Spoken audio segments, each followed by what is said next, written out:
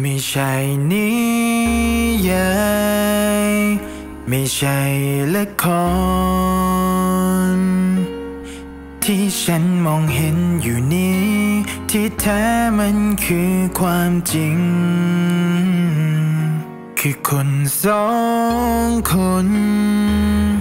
ที่บอกรักกัน และคนในนั้นหนึ่งคน คือคนที่ฉัน รักหมดหัวใจ สิ่งที่เธอแสดง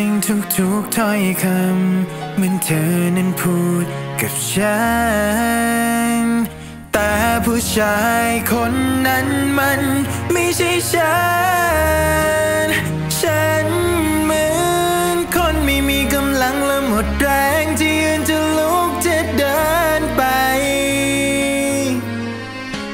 เหมือนคนกำลังจะตายที่ขาดอากาศจะหายใจ ฉันเหมือนคนที่โดนเธอแทงข้างหลังแล้วมันจะรู้ถึงหัวใจเธอให้ฉันมีชีวิตต่อไปอย่างไร